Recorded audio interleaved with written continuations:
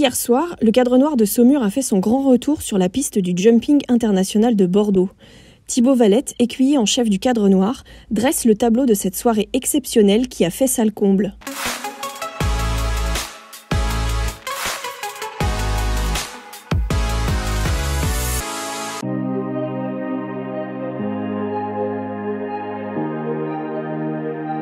C'est quelque chose qu'on attend depuis euh, longtemps finalement parce que ça avait été annulé il y, a, euh, il y a deux ans. On est ravis de pouvoir se produire à Bordeaux. C'est important de pouvoir présenter notre travail euh, à des gens qui viennent soit découvrir à l'occasion du salon, soit des cavaliers ou des gens qui connaissent vraiment le milieu de l'équitation. Donc c'est euh, voilà, toujours des moments qui sont privilégiés pour nous, de pouvoir montrer notre travail, de pouvoir montrer le travail des sauteurs, de pouvoir montrer le travail en collectif du cadre noir. On est venu avec 35 chevaux, 22 écuyers. Il y a un soigneur pour 3 chevaux en général parce que ça prend pas mal de temps finalement pour les natter.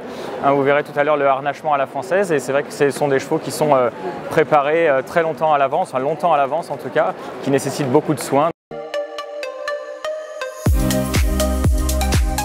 Vous allez voir euh, des tableaux collectifs, deux tableaux collectifs pour les sauteurs, la reprise des sauteurs à la main et la reprise des sauteurs en liberté, donc c'est les sauteurs montés en collectif, une reprise de manège euh, à 10 chevaux à la fin du gala.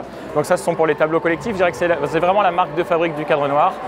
Euh, et puis vous allez voir des tableaux plus individuels avec des tableaux obstacles. des tableaux de dressage également, des tableaux de longue graine. Donc c'est un, petit melting pot de beaucoup de, belles choses euh, qui sont produites régulièrement par le cadre noir lors des galas. Ça participe en fait au rayonnement de l'équitation de tradition française lors de ces galas et c'est ce que l'on cherche à mettre en avant. Donc l'équitation de tradition française effectivement est inscrite au patrimoine mondial de l'UNESCO.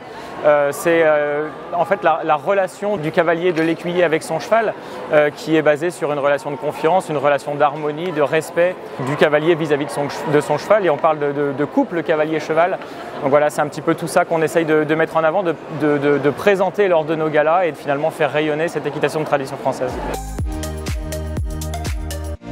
on produit un gala qu'on produit à Saumur, hein, qui s'appelle euh, Au cœur du Grand Manège, où c'est la Loire finalement qui va euh, raconter son cadre noir.